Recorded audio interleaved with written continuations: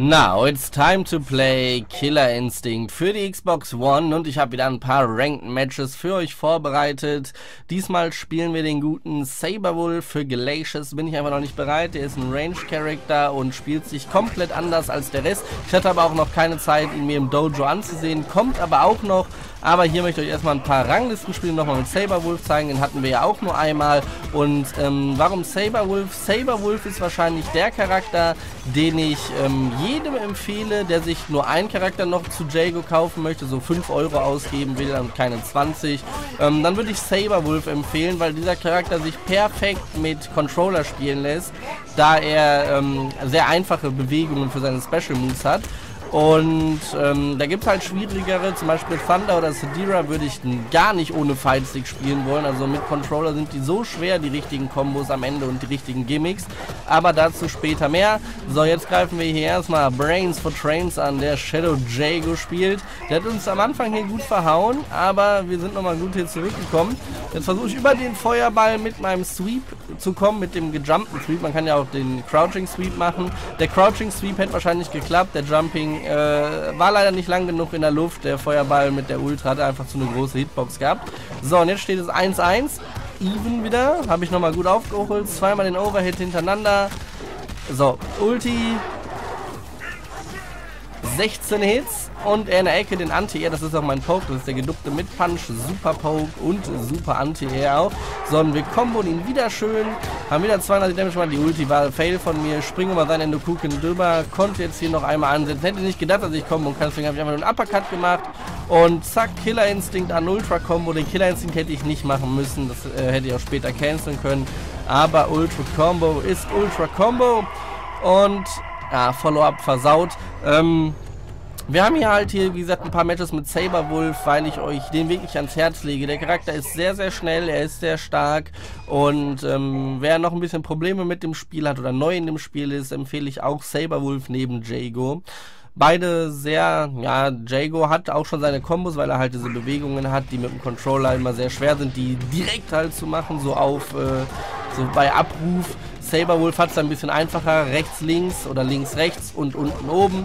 Da kann man, das geht relativ schnell, auch super mit dem Controller, weshalb man bei Saberwolf eine sehr, sehr gute Kontrolle hat. Hier haben wir jetzt ein Saberwolf gegen Saberwolf Matchup. Ich bin jetzt übrigens der Kristallweiß oder der Eisklare, wie auch immer.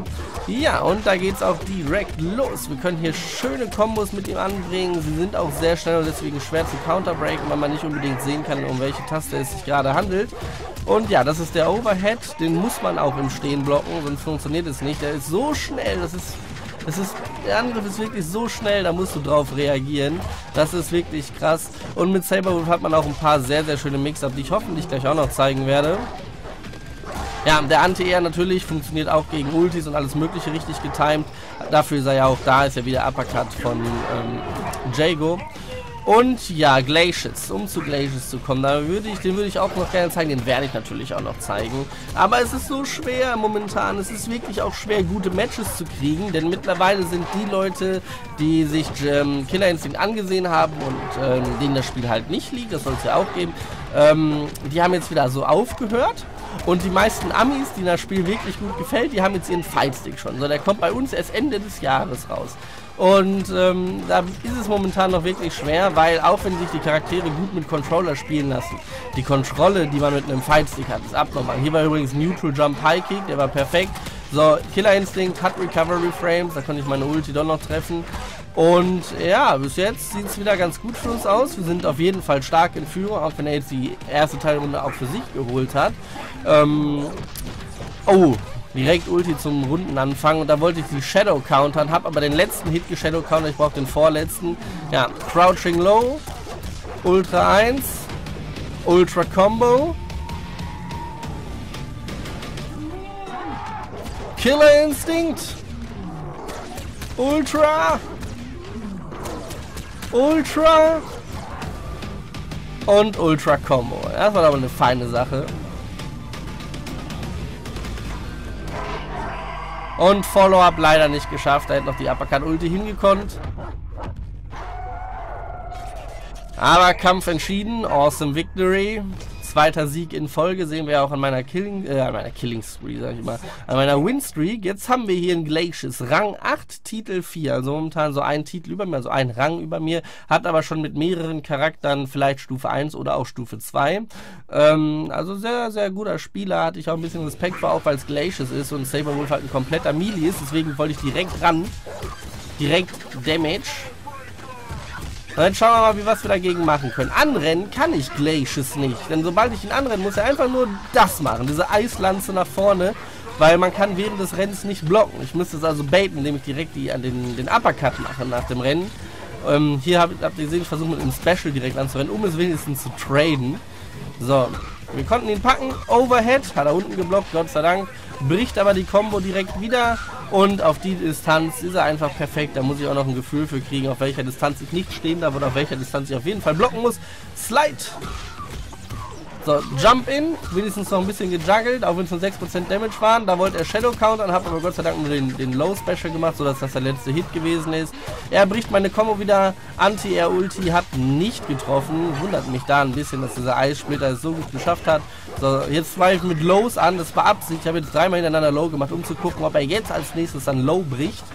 So, wir gehen auf jeden Fall damage-mäßig sind wir gut, gut mit drin, dafür, dass es Glacius ist. So, jetzt hat er endlich angefangen, Low zu brechen. Jetzt kann ich, wenn ich nochmal eine Combo ansetze, nämlich was anderes machen, weil ich davon ausgehe, wird versuchen, wieder Low zu brechen. So, und wir versuchen wieder direkt reinzukommen. Hauptsache Nahkampf. Overhead Ulti, gut geblockt, aber danach kann man packen. Die geht nämlich nicht so lang, die ist nämlich genau dafür da, also um halt irgendwas zu baiten oder um schnell halt über einen Angriff drüber zu kommen. Macht auch nicht so viel Schaden im Vergleich zu den anderen Ultis, aber hat halt einen großen Nutzen, auch weil die Recovery Time fast nicht vorhanden ist. Da hätte er weiterkommen können. Ich weiß nicht, welche Motion Glacius braucht, ob das jetzt besonders schwer war, ob er es versucht hat, aber dass da noch was gegangen wäre, das wusste sogar ich. So, da habe ich wieder einen Shadow Counter gemacht. Leider hat er auch den Low Special gemacht, weshalb das schon der letzte Hit gewesen ist. Ich brauche den vorletzten beim Shadow Counter. So, Crouching Low into Ulti. Danach kann man weiter komboen. Diesmal habe ich nur heiß gemacht für diese Frame, also für diese Trap.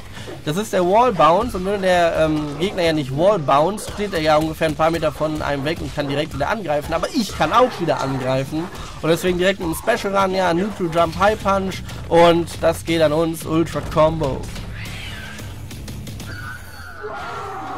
Killer Instinct. Und jetzt komboen wir. Combo, Combo. Da geht noch was. Zack. Und noch eine Ulti. So, das war schön.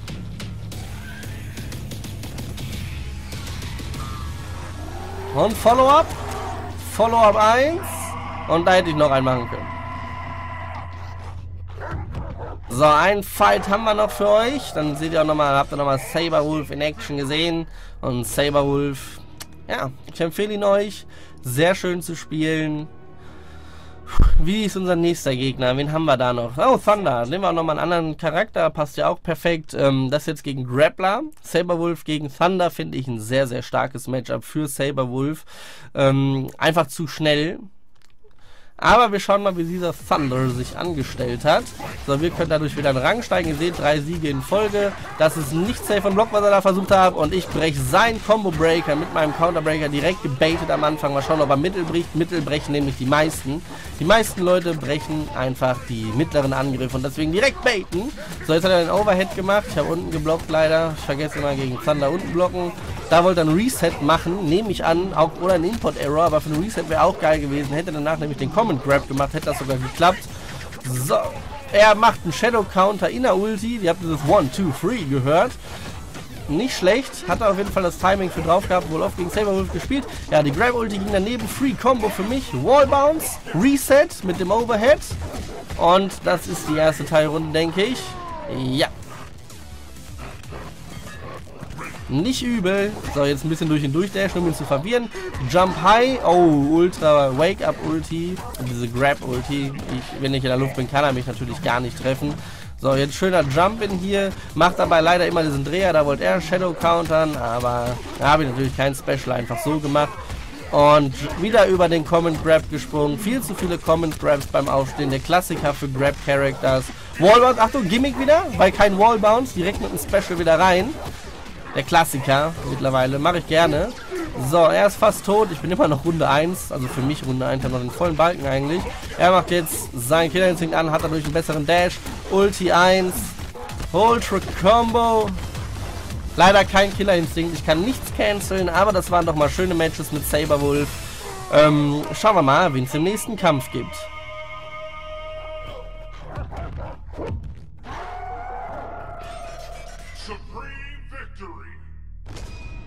Leute, das wär's für diese Episode von Killer Instinct für die Xbox One. Die nächste Episode findet ihr, sobald sie verfügbar ist, wenn ihr rechts auf das Video drückt und zu anderen Games gelangt ihr unten bei alle Playlists.